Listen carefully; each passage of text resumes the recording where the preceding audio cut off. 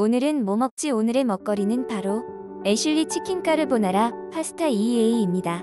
판매량과 재구매율 높은 식재료로 선정했습니다. 댓글에 구매 링크를 올려놓았습니다. 식자재 정보는 상세 페이지를 확인해주세요. 가격은 9,800원입니다. 평점은 4.5점입니다.